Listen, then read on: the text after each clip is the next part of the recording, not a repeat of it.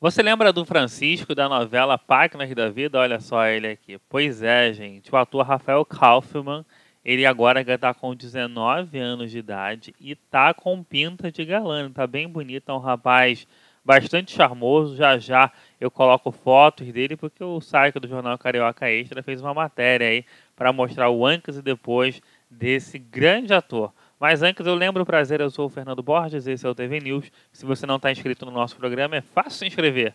Basta você clicar no famoso botãozão vermelho de inscreva-se, ativar aí o sininho para receber nossas notificações e dar o seu joinha. Você também pode me seguir no Instagram, arroba jornalista Fernando Borges. Vamos então ao antes e depois do Rafael, gente. O, o Gabriel Kaufman, que fez o personagem Francisco na novela Páginas da Vida. Você já vê aí uma foto dele num jogo de basquete.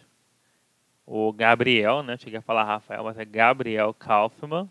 Ele que fez o personagem Francisco, atuava com a Lília Cabral na novela Páginas da Vida, um dos maiores folhetins da história da Globo. Ele é ao lado da Clarinha, né? Personagem Clarinha que fez muito sucesso. E aqui, né, dividido antes e depois.